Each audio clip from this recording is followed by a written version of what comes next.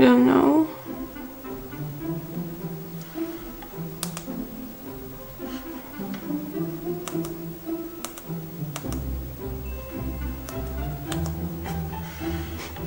This is not good.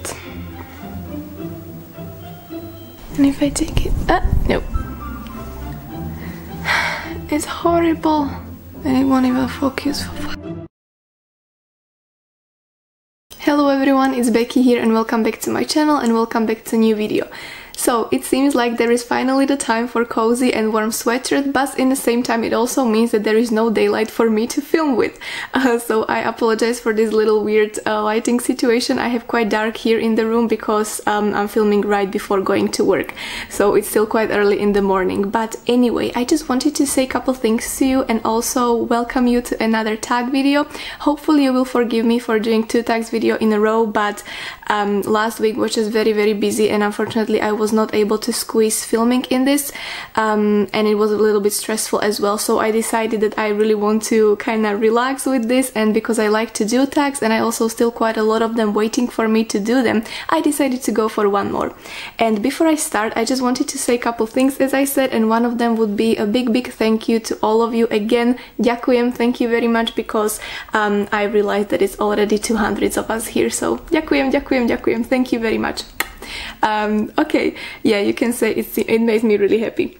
And the second thing I wanted to say is little apologize uh, to a couple of you because I realized recently that YouTube once again did this funny thing when I was not able to reply to some of the comments which I received from you on my, I think it was latest video. Um, I could see the comments in the notification bell but once I tried to click on it and then answer I just could not do it. The comment would disappear and I could not even see it underneath the video. So I just wanted to say that if this happens that I won't answer any of your comments or some of your comments um, is because I was not able able to because of some YouTube weird magic um, but I will always try to answer your comments so I'm sorry if I did not reply and I'm sending hello from here at least. Right, so those were the most important things I wanted to say and now I will go and tackle the prompts because yay, another tag. And actually these are two tags together but I think the first one is probably the shortest tag I ever seen and I ever done. And I was tagged to do both these tags by Kelly from Books I'm Not Reading so thank you very much Kelly for tagging me. And the first one is called my book buying history tag which was originally created by One Book One Review. And the first one says where do I get my books? So I would say mostly online recently and the funny thing is uh, that I am probably gonna make my first haul video which I never done before because I said couple times that I really really try to be mindful when it comes to buying books and I never buy more than one book at a time. Well, watch me. Uh, the other day I purchased six books in one day, so there we go. And I think I will make a whole video about it, so there is a haul coming. But uh, yeah, I would say online mostly right now because I do love to go to bookstores and I do love to wander around bookstores, but sometimes I just end up not buying books there just to buy those books online when I get home. Anyway, so yeah, online and stores and um, sometimes library, but I haven't been in library for so so long.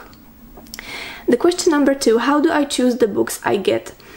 Well, right now, uh, in recent months, it's been because of BookTube. 99% uh, of books I choose to read are from bookish recommendations from lovely and wonderful booktubers I met here over the last couple months.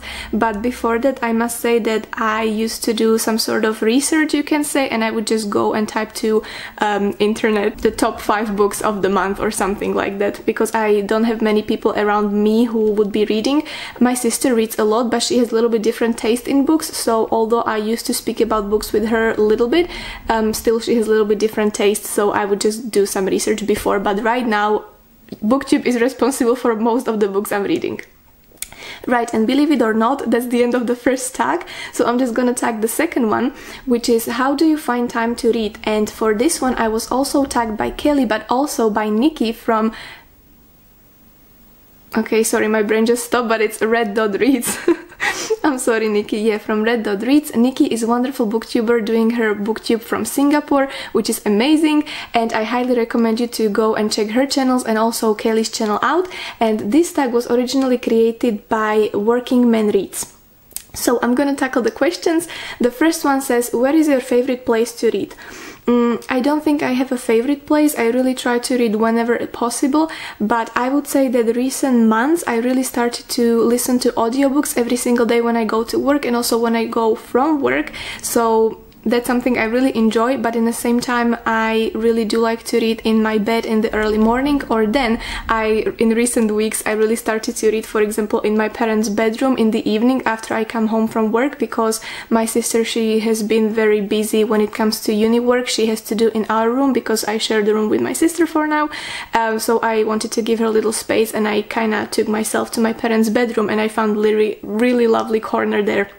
So I enjoy reading there a lot as well. Okay, do you read every day? Yes, I do. Uh, mostly it would be audiobooks on my way to work. Um, hopefully it can count as reading, but I do count it. Um, and then also in the evenings before I go to sleep, I, I like to read in the bed. Excuse me. Do you read out loud to any family members? No, unfortunately, we do not this anymore. I mean, my parents used to do this when me and my sister were young, and before we went to bed, they would read stories to us.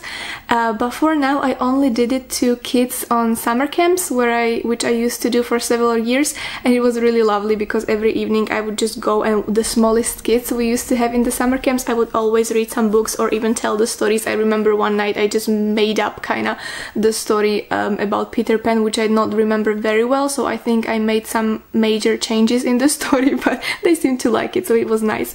But uh, yeah, I'm not reading to anyone at the moment, but hopefully one day to my kids. Right, your favorite career for a main character to have. Excuse me. Okay, tea break. right, so your fa- Ta-da! Right, so question number four, your favorite career for a main character to have and give an example of the book that has the job in it. So I would love to say something with filmmaking or writing because it's a career path which I would really love to get into, but it's been really a struggle to get into film industry as maybe many of you know. But because we are talking about books, I'm gonna say something with magic. So anything from Harry Potter professors to fairy godmother. I mean, it would be really great occupation to be a fairy godmother. So magic. Do you read at work? No, no, because there is no time at my work even to go to toilet sometimes, but uh, definitely no time for books. okay, tell me what book you are going to read today. Well, again, after I wrap up this, I'm running to work and I will listen to audiobook which I'm still listening called The Empire of Vampire, which is amazing book and I still have approximately 8 hours left there because the book has altogether I think it was 27 hours or more. So it's a long book but I love it and in the same time I also started to read the book called The Man Called Owe Owe, that's how you pronounce it, I hope, from Fredrik Backman, which is the author I read for the first time this year. I read Anxious People from him and I loved that book.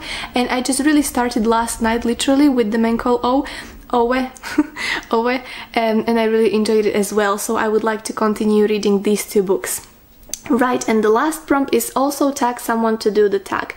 I am very sorry because I don't know who already done this tag or didn't, but I will try and I will tackle three people. First, I would like to tag Daniela from If Only for a Page. Daniela is a Czechish booktuber who is doing her booktube in English, so that's something very interesting and I discovered her quite recently.